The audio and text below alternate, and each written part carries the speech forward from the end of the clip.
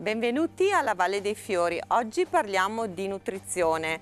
La nutrizione è la concimazione delle nostre piante, le, di tutte le piante del nostro giardino. Allora, io consiglio sempre di mh, mm, dare del concime a lenta cessione subito all'inizio della primavera per farle partire bene e poi andando avanti di integrare il, la nostra concimazione con dei prodotti liquidi che mh, mm, aiutano ad arricchire la, la terra di tutti gli elementi che vengono persi ovviamente ovviamente durante tutte le bagnature. Mm, le concimazioni mm, posso usare dei concimi specifici in base al tipo di pianta che noi troviamo, tipo per le rose possiamo dare il concime specifico per le rose che contiene guano e di conseguenza eh, li aiuta in tutte le sue fasi di, di sviluppo. Per le piante acide un concime specifico per le piante acide.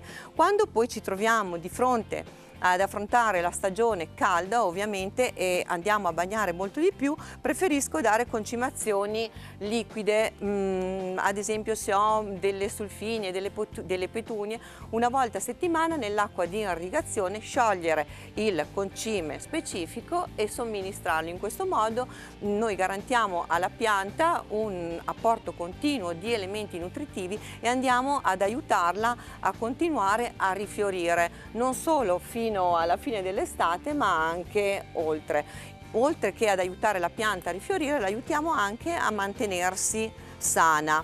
Mm, ovviamente oltre che ehm, alle concimazioni liquide abbiamo anche concimazioni granulari che mh, mm, di solito le consiglio per quelle che sono mh, mm, le piante che sono piantumate in piena terra. Ricordo quindi che per mantenere le nostre piante belle, sane, vigorose con fioriture copiose dobbiamo integrare sempre con una concimazione.